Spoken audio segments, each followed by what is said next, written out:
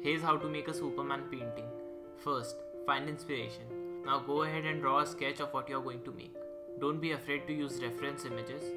When you are done with the sketch, pick colors from the reference image and start painting with a round brush in painting section.